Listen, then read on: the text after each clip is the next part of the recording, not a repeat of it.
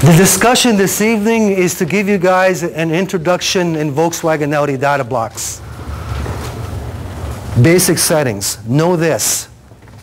If I look at basic settings in any VAG car, normally, it is identical to 08 measured values. It is identical. It's holding the blade open. So as I increase throttle, what do you think is going to happen to the frequency? As I let off? Right?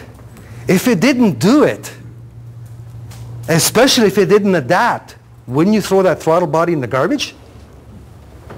I just diagnosed a throttle body control module. People that always ask, do I need the seven-digit code to run a PIN or a personal identification number in my Volkswagen Audi? The answer is no. Terrible. but it's funny, and in some cases, so true.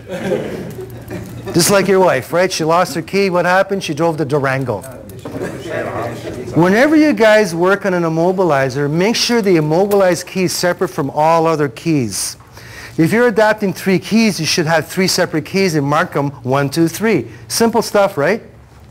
Here's a really strange thing. You guys got the fuel dongles in your state? You touch, touch the fuel gas, the gas thing to get your gasoline? Speed pass. Speed pass, exactly. I've seen some of them kill the car. Uh, I have a paper on it. Please, please, I would love to see that. I haven't been stumped on one yet. Not yet. Okay, so if you have an ESP with a steering angle sensor, that's how you do it. Pretty simple stuff. If you're in a jam, that means you have to send me a scan. We want to know what version you have. It may be slightly different. It may give you slightly different instructions to get you out of trouble now. Sally's got to go to the soccer game. What are you going to do about it? It's like a little spider with a dot in the middle, and we connect each wire to each controller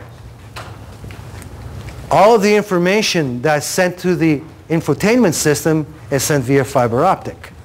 If the information is usable for that control controller, it will use it, such as volume up, or volume down, or next CD, or next DVD. Make sense?